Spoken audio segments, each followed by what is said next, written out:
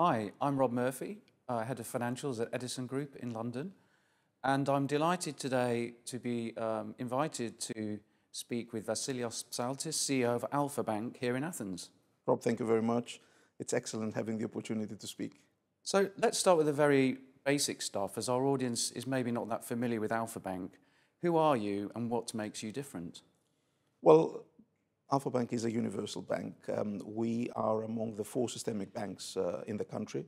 In terms of the key figures, um, we have uh, a balance sheet of about 75 billion in assets, we have 40 billion in loans, and a bit more of 50 billion in deposits. Um, we have a tangible equity value uh, a bit uh, more of 6.2 billion, and uh, nowadays our market capitalization is around the 3.6 billion marks. For 2023, the market is expecting us to deliver more than 700 million in terms of profit. As a bank, we have a unique history of 140 years. Uh, we are the oldest privately owned uh, Greek bank, and uh, we have been the only listed company in the Athens Stock Exchange whereby since the Second World War and in the onset of the Greek crisis, we have been able to pay uninterruptedly a dividend. And um, on top, I would also say that we are the bank that got the least state aid uh, during the crisis.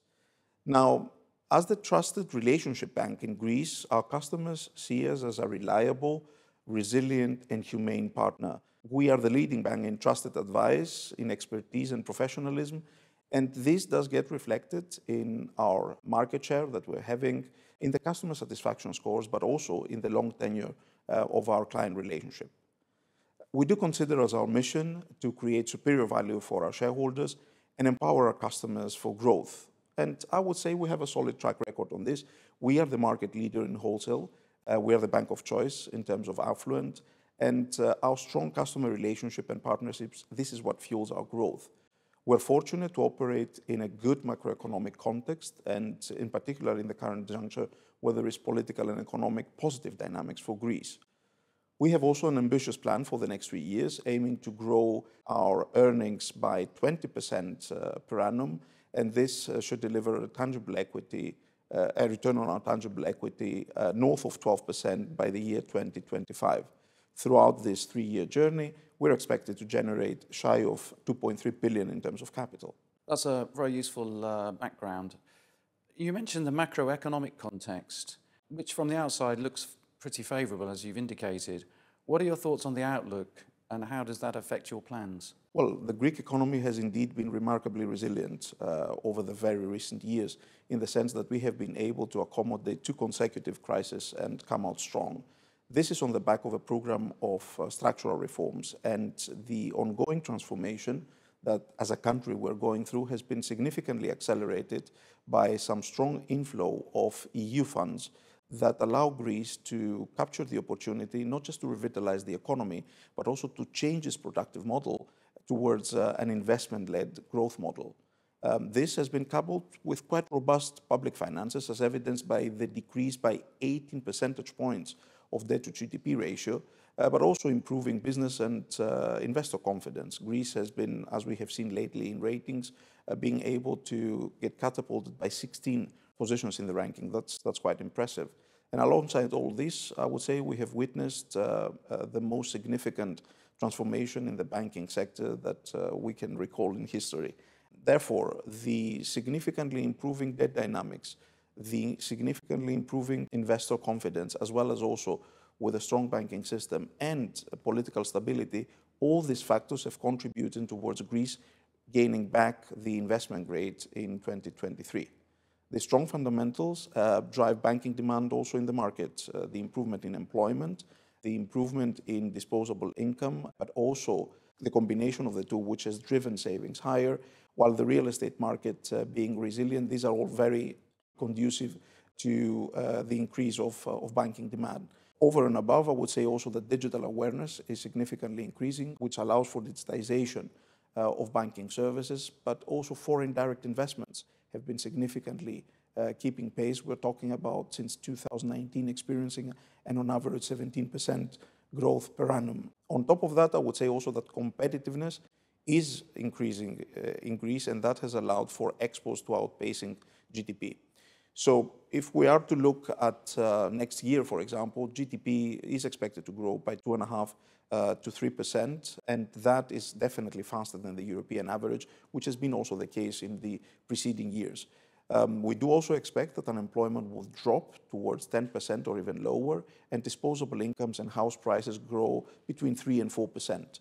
The growth that we are seeing uh, is driven by these structural trends that affect profoundly the demand for banking services, and there is more pronounced in segments where we're very strongly presented, and this is the area of business banking and the area of investments uh, for individuals. Uh, thus, we do believe that by this uniquely position that uh, we do have, we're going to be able to capture these trends uh, and have a significant improvement uh, in our numbers as well. So, what are those strategic priorities, uh, and how do you position or reposition the organisation to take advantage of the growth opportunity in Greece? Well, the priorities have been evolving, as you would appreciate. Over the crisis years, the priorities were definitely there in order to go through a deep restructuring, uh, ensuring that uh, our balance sheet uh, um, would be still intact as we were restructuring the bank. Um, we focused on restoring, and from that point onwards, we focused on um, fixing, after fixing the fundamentals of our operating model, which led to more cost rationalization and the normalization uh, of the cost of risk. Then we realized that balance sheet has shrunk, and that actually changed the focus on our side towards increasing the top line, and this is where all of our focus has been put in. And the outcome of that is actually that we have been able, for example, uh, for the target that we had uh, for profitability this year at 10% to outpace it. So that, um, that has been quite an important element. On our side now, we do aim to deliver, uh, on the one hand, a return on tangible equity north of 12% uh, by 2025. Uh, we do want to have uh, an EPS growth of 20%, and we're looking forward to generate about 2.3 billion of capital, uh, which would allow us uh, also to start giving out dividends, starting with this year for the profitability of 2023. And that's obviously something that we will need first to conclude the dialogue with uh, our regulator. Now, to accomplish all that, uh, we have uh, set to ourselves six strategic priorities that form, if you would want, our operational levers that we're using uh, not just for the financial ambition, but also to swiftly improve the structural profitability on each and every business unit. Therefore, for retail, the focus is in order the focus is to make sure that all the everyday banking activities will get digitalized, and through this way, we will be able to allow for our staff to get uh, more time available for other commercial activities uh, away from pedantic issues uh, of uh, back office and middle office. Um, then in the area of wealth, uh, we're looking towards addressing a wider audience, which means that we need to scale up um, our wealth engine and we need also to customize our offering so that we improve our investment penetration in those audiences. In wholesale banking, where we have the leadership there, where we want to achieve is to capture all possible opportunity that the growth of Greece allows us uh, to have while maintaining a very strong focus um, on profitability. And in addition, I would also say that uh, in the area of international, we look to uh, deploy our capital in a way that constantly the return on that capital improves. So all along, uh, we are ensuring uh, the resilience of our balance sheet, pricing prudently, um, our diversified performing book, reducing the problematic assets that we're having, and maintaining strong level of liquidity. And finally, we're using also sustainability as a value-creating lever. Um, this plan is enabled by our investments both to people and digital. That sounds like uh, an attractive ambition. Uh, is everything going to plan so far? And we're all living in a difficult economic times now with inflation and interest rates. Have you felt the need to adjust uh, any of your plans? Well, we have come out uh, with our plan fairly recently. That was just in June uh, 2023. Uh, and um, this is uh, something also that I would urge our esteemed audience also to have a look at. We believe that um, it was uh, quite an effort uh, to really get the bank out there to people to get to know it. Now, ever since, I would say, as far as the structural trends is concerned, there is not much that has changed, albeit there are some shifts in the more short-term cyclical trends. And uh, practically, uh, what uh, we are preparing now is uh, for uh, higher rates uh, for a longer period. Now, clearly for us as a bank that has a strong retail deposit base, we will come to benefit out of that, and that's why we are trying to adjust our balance sheet accordingly. We recently also posted a strong nine-month set of results. Our profitability has been growing by more than 12%, with well over half a billion uh, of normalized earnings. Revenues have been growing close to 20% year-on-year, driven by higher rates, but also higher volumes in terms of bonds, in terms of loans, but also higher recurring fees. Um, operating leverage and strict cost control has allowed for our cost to income to drop significantly towards the low 40s. Asset quality, as a last point uh, in those results, I would say that it proved that it remains relatively benign and that um, uh, meant that our cost of risk is now largely normalized.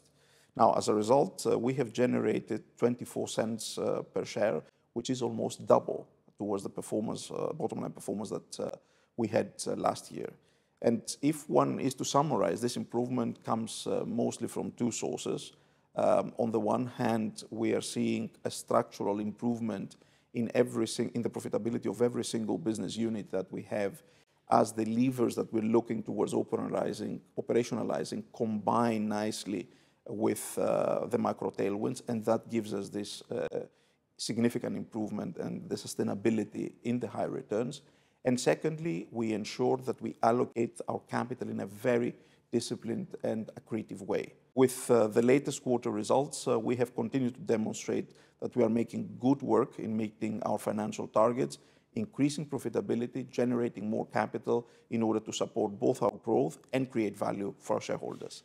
That's great. So maybe to switch gears a little bit, you recently announced a deal with UniCredit uh, of Italy. Um, can you walk us through the main components of the deal and how it fits in with your strategy? Well, indeed, uh, in the 23rd of October this year, we announced uh, what we feel is a groundbreaking uh, agreement with UniCredit that practically engulfs uh, three distinct components. The first is that we have agreed to merge our subsidiaries uh, in Romania in order to create the third largest bank uh, in the country and the second largest in terms of corporate banking. Out of that deal, Alpha Bank will be able to get 300 million in cash and also retain 9.9% in the combined entity. Uh, secondly, uh, we are forming uh, a commercial partnership in asset management, in bancassurance, and in other banking services. UniCredit, in that vein, will acquire 51% of our bancassurance um, company in the area of life, uh, and this is called Alpha Life. And additionally, we, on the other hand, we're going to be distributing UniCredit's mutual funds. as a final point on this complex, we are agreeing with UniCredit a cross-border referral system uh, for our clients.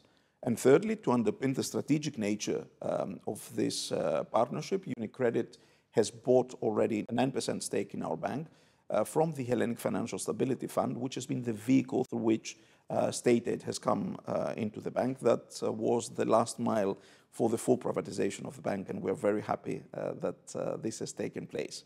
Now, if one looks at the various facets of this transaction, they're all fully aligned with our strategic objectives. The transaction, on the one hand, vastly improves the return on the capital that we have employed internationally.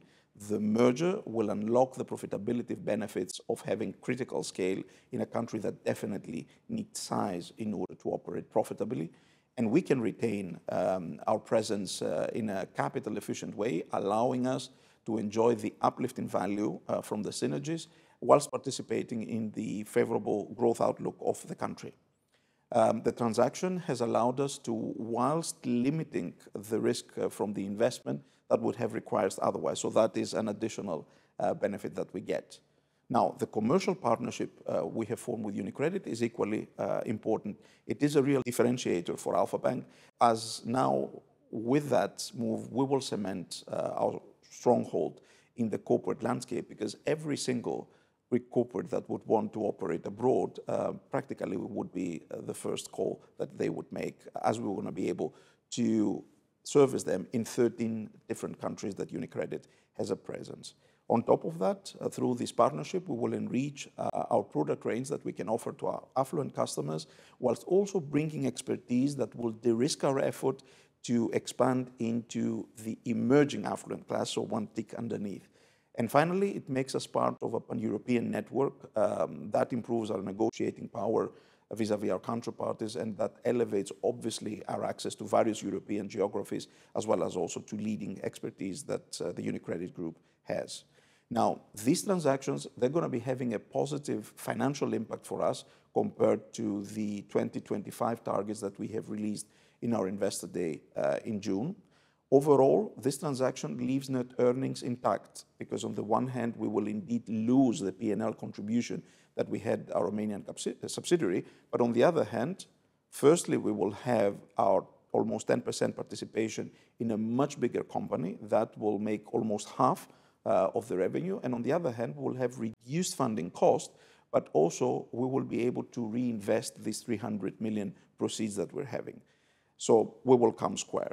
At the same time, um, we will be further enhancing our capital ratio. This is because we're going to be deconsolidating the risk-weighted asset of Romania, so that will give us uh, another 100 basis points in terms of capital. So same profit, reduced capital density, that means that our profitability ratios will go up by 50 basis points uh, through that. And uh, I would say also a final point, which is important to consider, is that these estimates do not include the potential upside that, upside that we will have from the commercial agreements. Well, that's a fantastic uh, summary uh, of your very comprehensive uh, plans and uh, outlook of the bank. I'd like to thank Vasilios for, for speaking with us today. Well, thank you very much.